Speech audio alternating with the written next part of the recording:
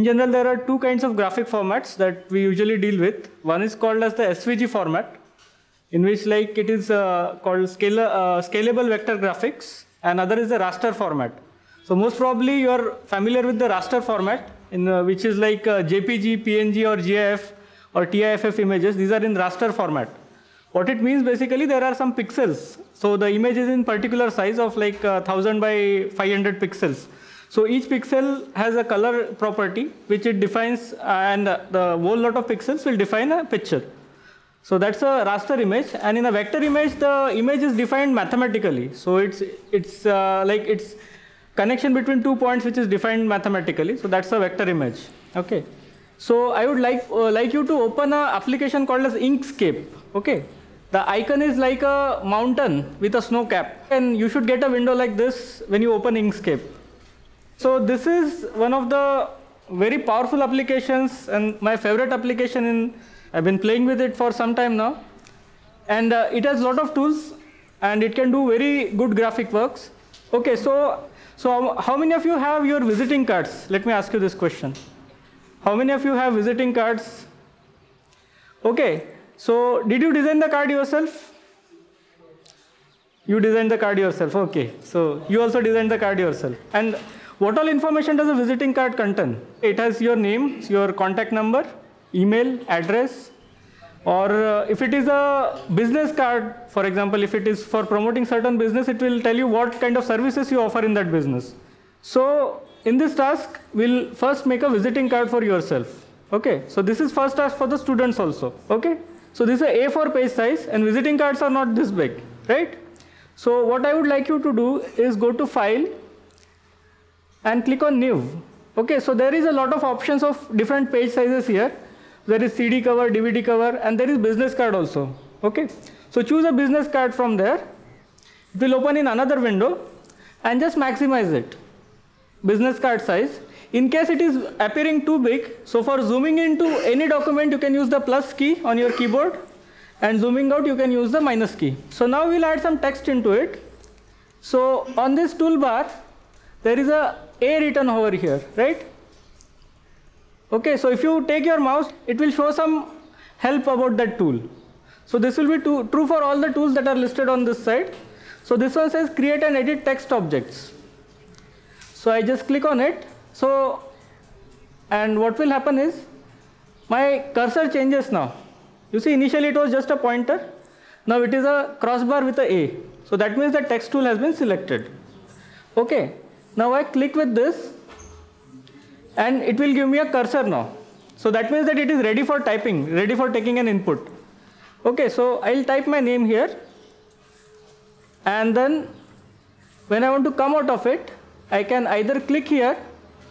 So this top, on the top there is an arrow. So this is the select and transform tool. Okay. So you can click on this and you will come out of this thing. So a text will be created on the page. I'll put my email also here. Okay, so right now this is out of my page. This is not on my page, right? If I want to move it, so I go to the select tool again and I click on this. Okay, so immediately you see the cursor again changes. There is a hand there which, which will enable us to move it. So then I drag it so that I can place it wherever I want. Okay, so everybody is now ready to add text right? So now we'll see how do, how do we change the font. So everybody knows what fonts are. So in this, there is an option of text in the menu. It says text and font. Okay, so once you press this, you will get a window like this. And on the all the fonts are listed here. Okay, if you press on this, it will show the font with a preview. Unless you apply here, the font won't change. Okay. So let's say I'll choose some font. We'll choose this one. Okay and from from this tool also you can change the absolute font size.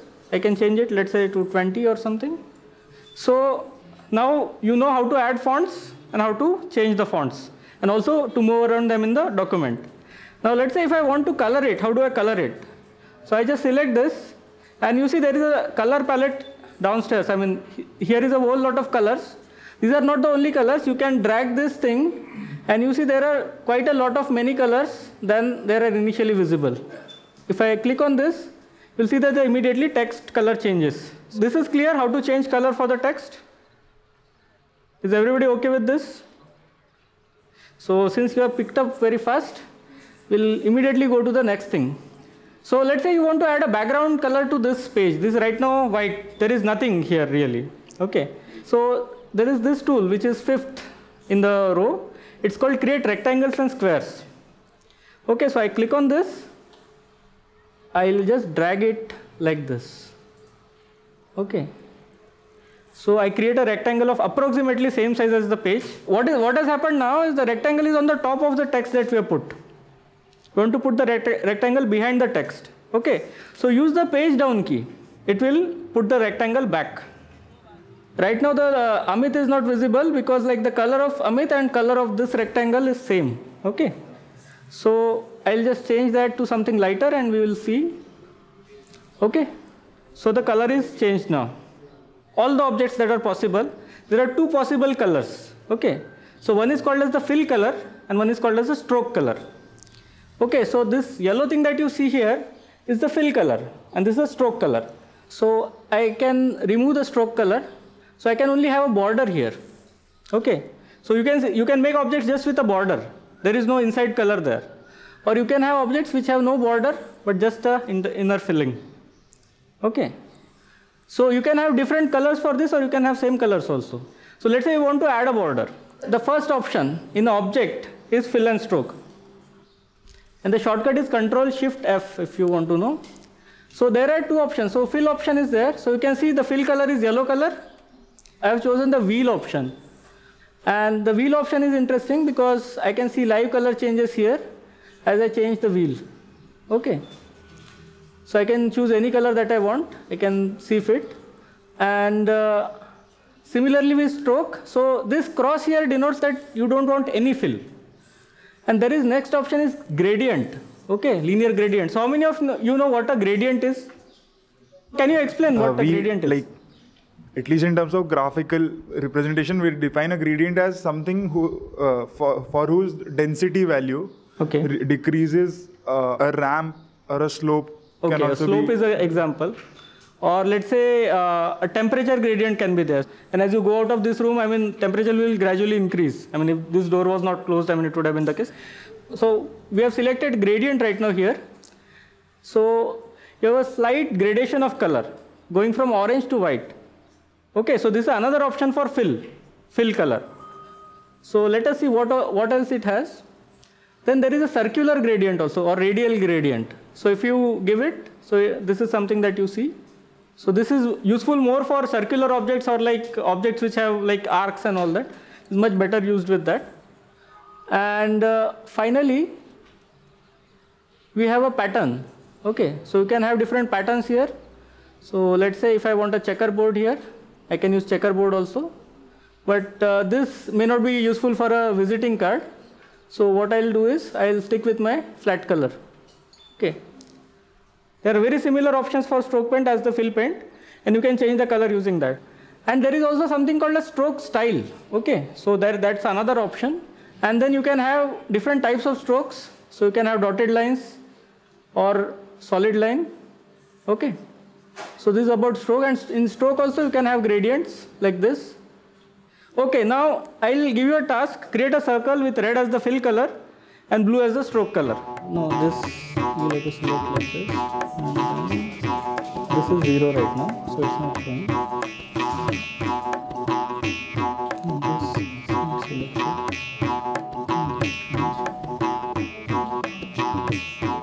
Now if I select on this, you will have something called as width and height, W and H here. Okay. Now this is not a perfect circle, right? If I want a perfect circle, what do I do? So I can go to this W and H and I can change this manually. Let's say I put it at 50 and I height for height also I put it at 50 and then I lock it. Okay, so there is a lock there. So if I lock this, what happens? The aspect ratio doesn't change. So this will be very useful to you when you are dealing with complex objects or even uh, fonts or something like that. So now what happens is if I change any of the height or width value, let's say I put it at 35, this value also changes by 35. If it is what if it was not locked, then it won't change by 35. It will stay what it is. Okay, so it will depend on what object you choose. Okay, so everybody is okay with this this much. So should we see some other tools also? Okay, so there is a tool like pentagon and a star is given here. It says create stars and polygons. Okay, so with this you can create some stars. So by default you will get five corners to a star. Okay. If you want to increase the corners, there is an option called corners. You just increase them. Okay, and instead of a star, if you want a polygon, you just change this and you'll get a polygon. So all types of polygons are possible. Students like this tool very much. I mean, when, when they first start using Inkscape, they'll decorate their pages or like their documents with lot of stars. Okay. So this is something that I have observed across uh, colleges and perhaps in your college also you will observe this. Okay, then there is another tool called a spiral tool. So as, as it says, it creates some spirals. Okay, so it will create spirals and you can also change some properties of the spirals. It is here, no? It's got transparency 0% here. Ah, so opacity should be always 100%. Okay, so some of you might face this problem. You draw the object but the object is not visible. Okay, so I'll just try to address this issue. Okay, so in the stroke and fill option, there are two, two more things. There is something called as A. So this is the alpha channel. So what does this alpha channel do? Is let's say this is by default at 255. If I reduce it, you'll see it is becoming more and more transparent. So it may happen that sometime this, this might be at zero or this might be very low. So you won't be able to see the object. Okay, and there is another option called as opacity. Okay, so this again produces the same effect. So in case you don't see any object if you draw it, just see if these values are zero or like very close to zero. This is this is like a pitfall. I mean, you you might end up sometime it uh, you might change it accidentally and you don't know this, but this might happen with you, and it has happened with some of you.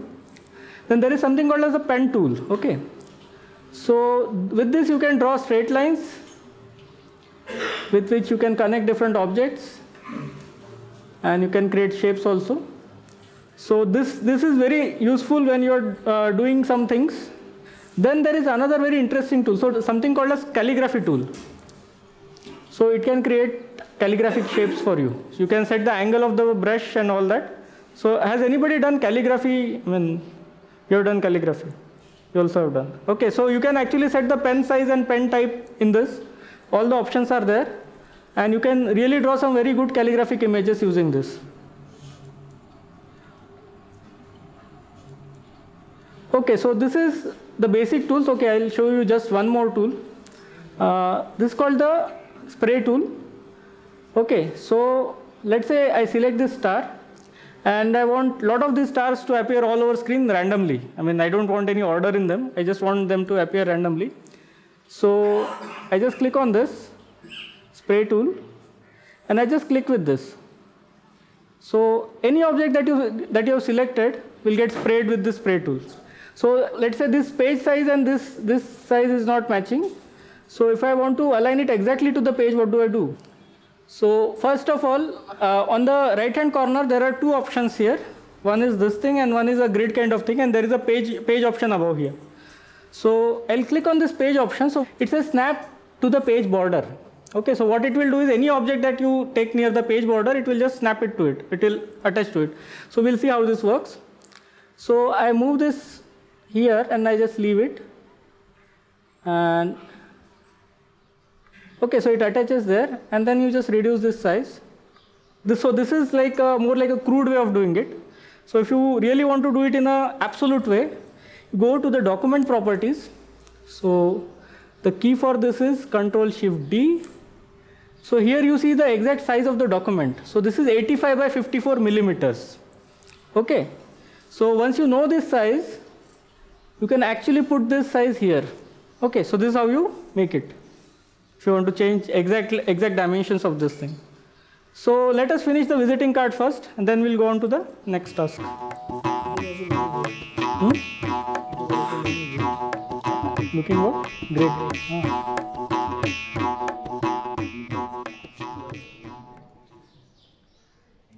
Can publish books also using this? Ah, ये opacity जो है ना इसका transparency zero पे set हो गया stock का। हाँ नहीं तो उसका एस्पेक्ट रेशो चला जाएगा। See when as an artist when you are working on each object you have to do all the work so though your canvas is just a visiting card you may want to work now only on your name so let's just work on the name what's your name How do I, how do I spell? A R U N, Arun. I can only use outline for the name and make sure that there is no fill for it. See, as uh, Amit said some time ago, every object in Inkscape has two properties. One is outline, that is stroke, and then the fill. Now, even the letters that you type also have an outline as well as a fill. Could we give outline to Arun? And then eliminate uh, the fill color.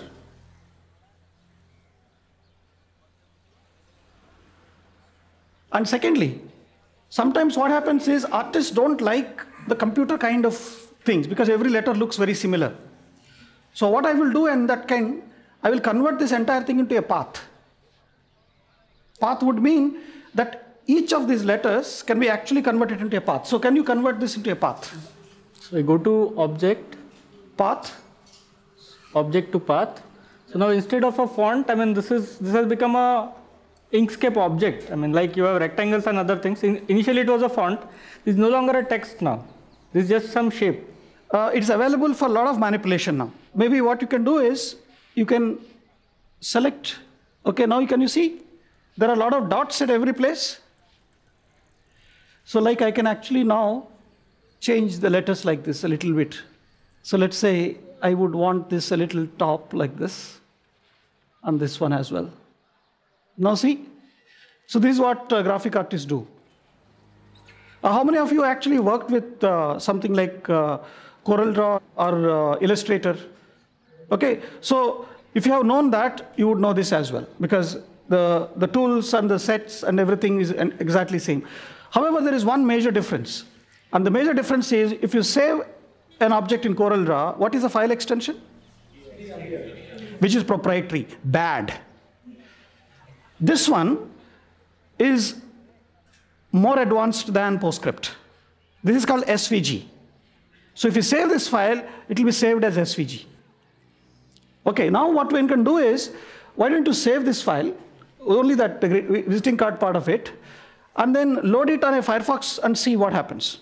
So all your drawings that you make on Inkscape are directly uploaded on studio.tis.edu, uh, which means that these are ready for the web.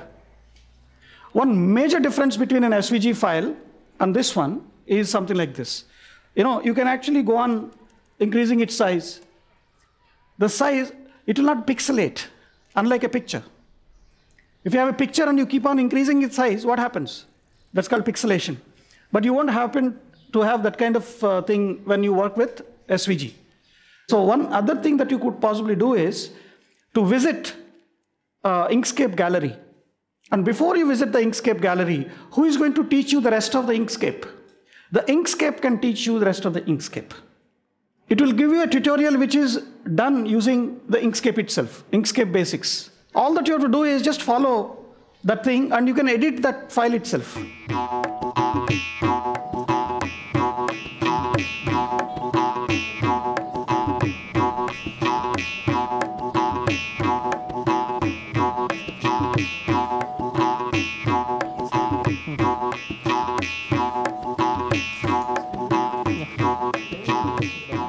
Tutorial helps you to do some changes while you're reading. Don't worry, it's, it's like a sandbox. So you can keep selecting objects, make them big, small, and all that, all the operations that you're doing, and you'll be able to become a master of Inkscape.